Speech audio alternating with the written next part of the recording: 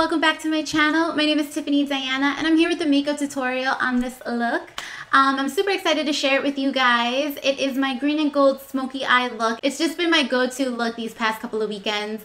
I have been obsessed with anything gold, so I've been mixing in other colors and I came up with this and I just fell in love. So if you guys are interested in seeing how I came up with this look, just keep on watching. So going in with our Anastasia Beverly Hills brows in the color Caramel, I'm just lightly shading in my eyebrows to really give a more defined look. Using the spoolie, I'm going to blend it out so it's a little bit more natural looking and then apply some brow gel to keep them in place. Priming the eyelid with Soft Ochre from MAC. I'm going to start with Makeup Geek Cosmetics Creme Brulee and just using my E40 blending brush, going in windshield wiper motions and putting that in the crease. Then I'm going to take the Makeup Geek Cosmetics color Cocoa Bear and placing that in my crease as well. This is going to be a really good transition shade and it's going to give a lot of um, contrast to the green but also complement the gold. Using the E55 shading brush, I'm going to be going in with Glamorous from Makeup Geek. This is a beautiful gold color. It's great for the holidays. You can wear it alone or with a dramatic look. It's just, it's beautiful.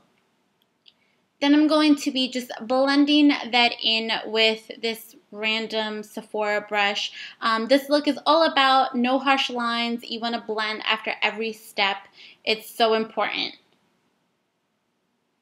Then this is the color Envy from Makeup Geek, and we're going in with the E25 blending brush from Sigma, going into that outer V of my eye and just really giving a dramatic look. This brush is amazing because it blends flawlessly. You want to just really make sure that you're blending to give that smoky look that we want to achieve with this look. And blend, blend, blend. Then this is Envy by Makeup Geek Makeup Geek Cosmetics.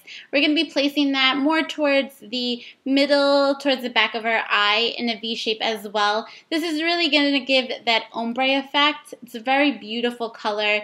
It's gorgeous. It's very pigmented as well. And then we're going to be blending again.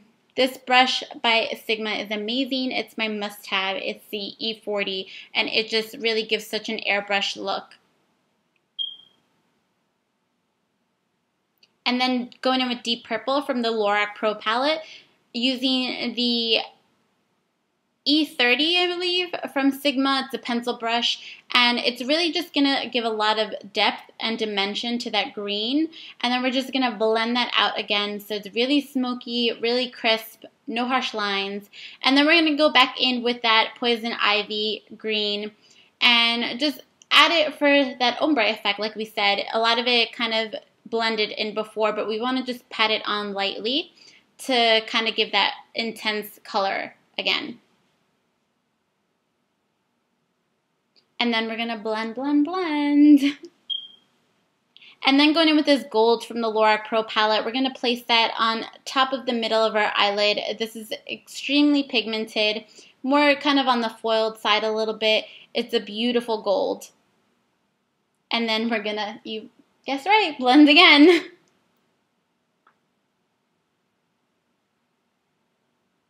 Then we're going in with the light bronze color. This has a little bit of shimmer, sparkle in it, so we're going to place it in the inner tear duct for that highlight. And then we're going to blend again and then go in with the white from the Lorac Pro palette as a brow bone highlight. It's a matte finish, so it's going to complement it really well. And then I just added a little bit more Cocoa Bear into that crease to kind of just make everything pop. And then I'm cleaning it up with some concealer. Uh, just want to really give sharp lines to really give that dramatic effect so everything looks very crisp.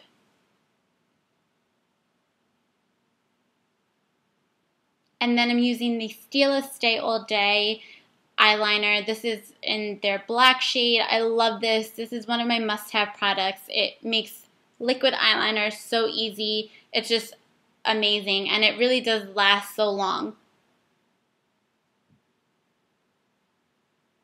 Then I'm using the L'Oreal Miss Manga Mascara and I'm going to be applying some wispies uh, in the 11 from Kiss. And I'm mixing my Pro Longwear from MAC with my L'Oreal True Match just because at this time I was kind of in between shades. Um, and I'm just mixing that on my face. It looks like I have like the chicken pox. I'm going in with my Sigma F80 Flat Top Kabuki. If you know me, you know that this is one of my holy grail products. I love this. It makes my foundation just apply so flawlessly. I always get compliments when I use my when I use this with my foundation. It's just amazing. I love it.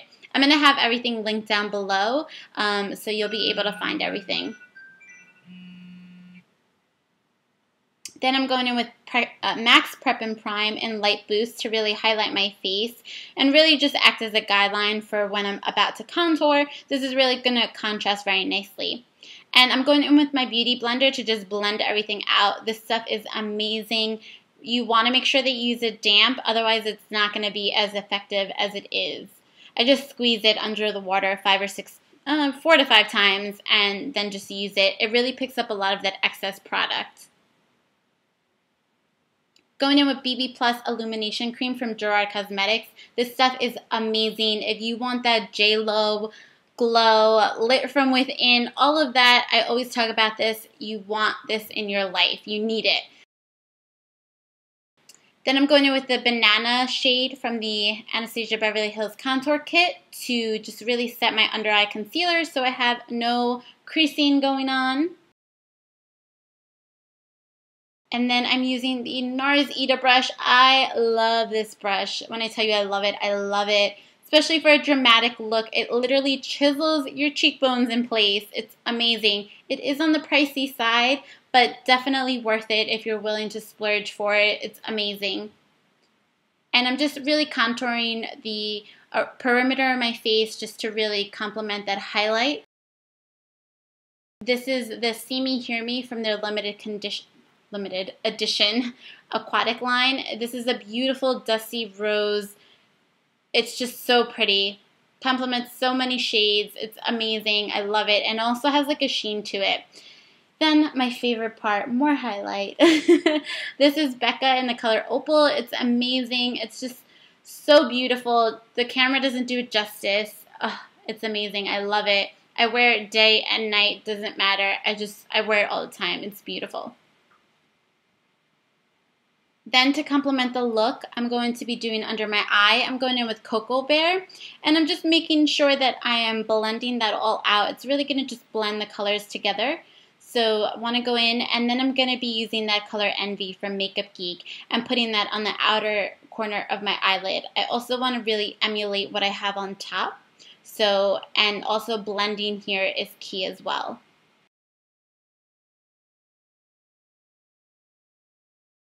Then I'm going to add some more of that gold to the beginning of my eyelid um, just to really give that nice roundabout look. And for the last part, lipstick, I love it.